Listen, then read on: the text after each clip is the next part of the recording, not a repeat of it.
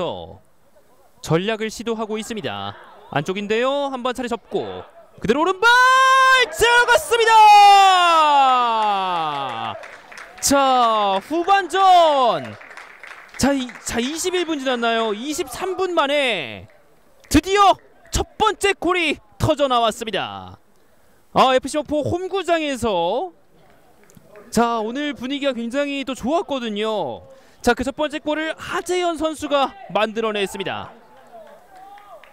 아, 하재현 선수 직접 바라봤어요. 한 차례 접어놓고 네 권태환 선수를 확실하게 속여 넘긴 엄청난 슈팅 장면이었습니다. 아, 하재현 선수가 오늘 기회는 많이 맞았었는데 계속해서 아쉬운 표정으로 좀 많이 놓쳐버린 장면들이 많았거든요. 그 한을 드디어 풀어냈습니다.